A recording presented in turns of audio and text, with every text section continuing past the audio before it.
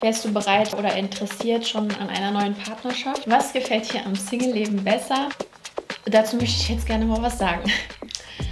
Hi Leute und herzlich willkommen zu einem neuen Video von mir. Heute zu einem Live-Update. Ich habe so ein bisschen gewartet, bis ich wirklich richtig gute Stimmung habe, weil ich finde, so nach so einem Live-Update wird immer so krass bewertet, wie sieht sie aus, wie gibt sie sich, ist sie mega traurig, so das wird halt total beurteilt. Und deswegen habe ich versucht, so ja so so viel ich zu sein, wie ich gerade ich bin.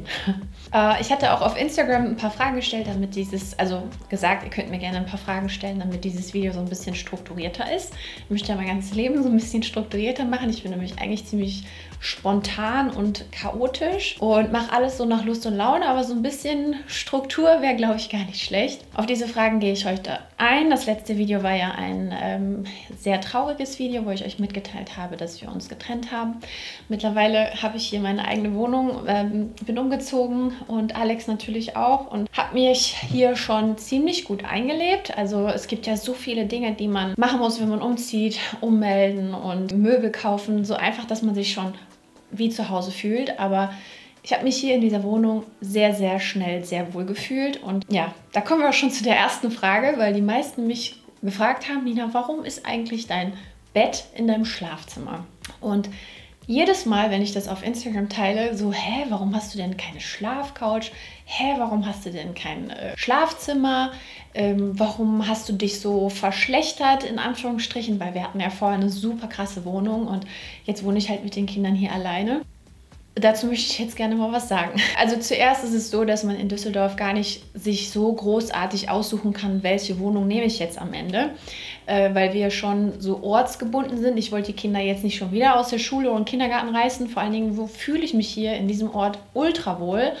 Und wenn ich sage ich, meine ich gleichzeitig auch die Kinder, weil für mich ist das immer selbstverständlich, dass wenn ich von mir rede, auch gleichzeitig die Kinder meine, also dass ich die nicht übergehe oder das ständig erwähne, ja ich und die Kinder, sondern für mich ist das irgendwie, wir sind eins und deswegen muss ich das nicht immer sagen, aber das hört sich dann immer gleich so, ja, aber du fühlst dich wohl und was ist jetzt mit den Kindern? Deswegen äh, wollte ich das auch noch mal kurz klarstellen. Es bewerben sich hunderte von Menschen auf eine Wohnung und deswegen, wenn du dann Mutter bist, alleinerziehend, selbstständig, dann hast du eigentlich, und auch noch eine Katze oder ein Haustier, dann hast du so schlechte Karten, dann bist du eigentlich quasi schon durchs Raster durchgefallen. Und als ich hier reingekommen bin, habe ich die Wohnung so krass gefühlt. Ich habe so eine Vision gehabt und ich habe hier auch so eine fette Fensterbank und da habe ich wie so eine Leseecke und Frühstücke da auch ganz gerne mal mit Freundinnen und es ist einfach eine richtig schöne Wohnung und ich hatte voll die Vision. Und als ich dann auf der Wohnungssuche war, wusste ich, ich muss Abstriche machen und eine Wohnung zu finden, mit zwei Kinderzimmern und noch einem Schlafzimmer muss man halt auch erstmal bezahlen können. Und äh, für mich war klar, okay, ich muss Abstriche machen. Und als ich dann ein Bild auf Pinterest gesehen habe, wo ein Bett im Wohnzimmer stand, ähm, hat es mir irgendwo so diese Vision erleichtert, ach, das geht. Ich kann auch ein Schlafzimmer auf ein Schlafzimmer verzichten, sodass die Kinder jeweils ein eigenes Zimmer haben. Das war mir nämlich auch sehr, sehr wichtig, weil Luis ja jetzt ähm, auch zwölf wird im Januar und da steht die Pubertät an und beide extrem unterschiedlich sind und auch so ihre Rückzugsmöglichkeiten brauchen, war das für mich ein absolutes No-Go, die beiden in ein Zimmer zu stecken. Vor allen Dingen die kannten das ja auch nie anders und dann in so einer Phase dann auch noch denen so diese Privatsphäre oder diese, dieses auch noch zu nehmen, abgesehen von diesem Familienleben, kam für mich gar nicht in Frage. Und ja, dieses Foto hat mir einfach geholfen, Abstriche zu machen. Meine Klamotten habe ich sehr reduziert, die hier im Wohnzimmer verteilt. Das sieht super schön aus ähm, und fühle mich hier einfach richtig, richtig wohl. Und ich brauche auch keinen äh, begehbaren Kleiderschrank mehr. Und ich lade hier auch nur meine Familie und meine engsten Freunde ein. Deswegen muss mir das auch nicht irgendwie peinlich sein, dass jetzt hier in meinem Bett steht. Ich teile das ja auch mit der Öffentlichkeit. Also ich fühle mich hier super wohl es ist mein Reich und mein Heim. Und ja. Was gefällt hier am Single-Leben besser als am Leben in einer Partnerschaft? Also es ist grundsätzlich erstmal so, dass eine Trennung natürlich nicht so spontan passiert und meistens ja auch schon Monate, wenn nicht sogar Jahre in einem so, so ein, also es ist so ein Prozess, der in einem irgendwo so im Hinterkopf die ganze Zeit ist und mich hat das sehr belastet, vor allen Dingen so kurz bevor dieser Entschluss wirklich gefasst wurde, dass wir uns trennen, mm, hat mich schon sehr belastet. Ich glaube, viele haben das auch so in meinem Content gemerkt oder auch wie ich mich so gegeben habe. Das habe ich auf jeden Fall so die Resonanz bekommen am, äh, nachher. Und mittlerweile also dass diese Blockade, einfach diese Entscheidung auch dann getroffen wurde, ist wie eine richtige Last von den Schultern. Das ist natürlich trotzdem nicht leicht, aber trotzdem dieser Entschluss dann mal gefasst zu haben und zu sagen, ja, wir sind gerade nicht glücklich und ähm, das passt im Moment einfach nicht mehr, dass, dass wir diesen Entschluss getroffen haben, das tat einfach gut und aktuell geht es mir sehr gut und ich fühle mich einfach frei und äh, das ist aber auch ein Prozess. Also es gibt Tage, da bin ich auch super traurig und auch mit den Kindern alleine zu sein. Das Ganze war natürlich nicht jetzt so von heute auf morgen äh, für mich neu, weil Alex ja auch schon vorher diesen Wechsel hatte zur Bundeswehr und dann auch noch anders stationiert wurde und nur noch am Wochenende da war. Das heißt, ich war ja schon mit den Kindern irgendwo die ganze Zeit alleine. Was übrigens kein Trennungsgrund war, das, die Frage wurde auch ganz oft gestellt, aber dazu sage ich gleich was. Ähm, trotzdem dann so komplett verantwortlich für die Kinder alleine zu sein. Das heißt, ähm, auch Miete zu bezahlen, Strom zu bezahlen, äh, egal welche Rechnungen, allein den Briefkasten zu öffnen, sich um ja so viele Dinge dann auch alleine zu kümmern, war schon oder ist immer noch eine Herausforderung, aber ich bin so viel stärker geworden und ich habe so viel dazugelernt und ich habe, wie gesagt, es ist ein Prozess, aber aktuell fühle ich mich sehr gut damit und man merkt auch von Tag zu Tag, wie man immer besser damit zurechtkommt und Alex versucht mir ja auch zu helfen, wo er kann, also wenn er da ist, dann nimmt er die Kinder auch und was ja auch gut ist, weil die Kinder brauchen ja auch ihren Papa, also ich finde, man darf das auch nicht so verdrehen, dass man sagt, oh wow, der Mann kümmert sich oder der Papa kümmert sich, das ist äh, toll und wahnsinnig toll, mega und dass man das so hoch anrechnet. Ich finde, das ist selbstverständlich, dass der Vater sich um die Kinder kümmert.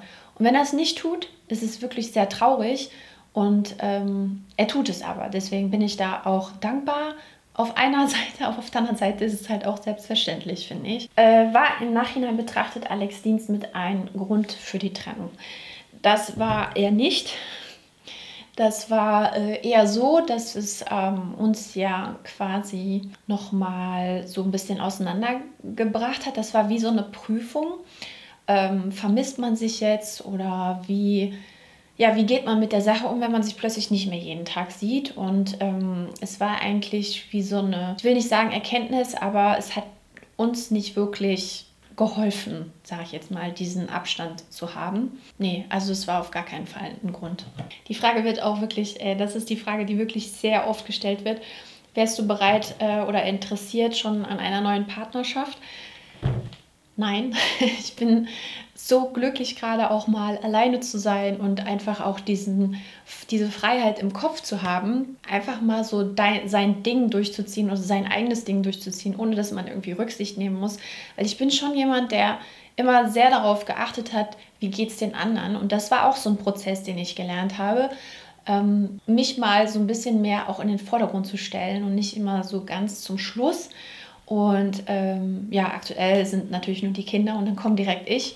Äh, Holly natürlich auch, aber ähm, nee, eine Partnerschaft auf, also im Moment auf gar keinen Fall. Ich will es gar nicht so komplett verneinen, weil es kommt ja auch immer darauf an, wen trifft man so und manchmal schlägt es einen mit dem Blitz und dann würde ich auch niemals sagen, wenn ich jetzt jemanden treffe, der mich irgendwo interessiert, dass ich da sage jetzt so, nee, also jetzt gerade möchte ich keine Beziehung. Deswegen äh, will ich das nicht komplett verneinen, aber ich bin halt auf gar keinen Fall auf der Suche. Genau, das ist das richtige Wort. Fühlst du dich weniger fremdgesteuert, seitdem du Single bist? Genau das ist das richtige Wort, ja, würde ich auf jeden Fall sagen. Wie schaffst du es, Job, Haushalt, Zeit für dich und Kinder unter einen Hut zu bringen? Wie gesagt, das ist ähm, eine Herausforderung, aber die hatte ich ja vorher auch schon. Das heißt, ich war ja auch schon alleine mit den Kindern vorher. Äh, Sport ist für mich schon mal sowas wie Me-Time. Das mache ich morgens direkt oder ich meditiere, bevor ich ins Bett gehe oder ich stehe immer noch früh auf und meditiere dann und schreibe dann auch in mein Tagebuch oder lese. Also ich versuche mir meistens morgens früh oder halt spät abends, wenn die Kinder im Bett sind, äh, mir meine Zeit zu nehmen. Und äh, vormittags bis nachmittags ähm, arbeite ich für Social Media, also für Instagram und auch hier diese Videos zu drehen. Das ist äh, ja Hobby und Arbeit miteinander vermixt. Das brauche ich ja nicht erklären. Das wissen ja alle mittlerweile. Als ich angefangen habe, da war das noch lange nicht so. Da habe ich da auch niemals dran gedacht, dass ich irgendwann mal mit YouTube oder Instagram Geld verdienen werde. Ja, der Druck ist auf jeden Fall größer, wenn man alleine ist. Schon. Aber ja, und wie ich auch gerade zu Anfang sagte, ich muss mir mehr Struktur in den Alltag bringen, sodass man wirklich, ja, ich bin halt sehr unstrukturiert eigentlich, sehr spontan. Und das sind meistens ja auch kreative Menschen. Und da muss ich versuchen, mehr so Struktur reinzukriegen. Ähm, ja, so. Was auch zum Beispiel extrem hilft, ist, äh, wenn man die Essenssachen schon mal nach Hause geliefert bekommt. So, das ist auch schon mal eine große Entlastung. Zudem ist Luis ja jetzt auch elf und er hilft mir auch. Und die Kinder haben halt auch mehr Aufgaben so im Haushalt bekommen, sodass sie mehr tun müssen als vorher, weil vorher habe ich wirklich sehr, sehr viel übernommen und jetzt müssen sie Mama halt einfach helfen im Alltag. Gibt es für dich und Alex eine zweite Chance? Also Aktuell nein. Äh, wir sind ja auch gerade erst getrennt. Ich will das äh, auch das nicht komplett verneinen. Ich tue es generell bei mir all, bei allem so, dass ich das niemals komplett ausschließen möchte. Aber aktuell nicht. Hast du Reiseziele für dieses Jahr, ob alleine oder mit den Kids? Also, das ist total verrückt, Leute. Also erstmal fahre ich auch mit den Kids eine Woche weg und ich glaube, Alex wollte mit den Kids auch nochmal wegfahren und die, also mit Oma und Opa fahre ich dann auch nochmal weg und die Kinder auch nochmal mit Oma und Opa. Also die sind richtig gut beschäftigt, die ganzen Ferien, was ich auch richtig schön finde. Ich werde dieses Jahr nach Bali reisen und Leute, das ist so verrückt. Ich habe Anfang oder letztes Jahr, Ende letzten Jahres, habe ich mir auf meine To-Do-Liste oder auf mein Vision Board gesetzt, ich will nach Bali reisen. Und für mich war überhaupt nicht klar, wie soll das überhaupt funktionieren, weil Alex ja auch den Dienst hat und die Kinder ja da sind. Und für mich war einfach nur klar, ich möchte dieses Jahr, egal wie, einfach mal nach Bali. Und ich fliege einfach nach Bali dieses Jahr und ich freue mich so sehr darauf. Ich ähm, habe schon so viel gehört und äh, wollte mir einfach mal eine eigene Meinung bilden über Bali, weil entweder man hasst es oder man liebt es. Ich höre immer nur entweder extrem gute Sachen oder extrem schlechte Sachen. Und ja, ich fliege dieses Jahr nach Bali und freue mich ultra krass drauf. Ultra krass. Ja, ihr Lieben, das war auch schon mein kleines Live-Update. Als nächstes folgt ein Fashion Haul. Ich bin schon fleißig am äh, Shoppen. Äh, so langsam wird der Kopf wieder frei, auch für solche Dinge. Und ja, freue mich, euch wieder mehr Content auch zu zeigen, weil ich mich halt einfach auch, also ich mache es nach Gefühl, immer so, wie ich mich gerade fühle und ja, genau. Ich hoffe, euch hat das Video gefallen. Wir sehen uns dann im nächsten Video wieder und bis dann, lasst es euch gut gehen. Ciao!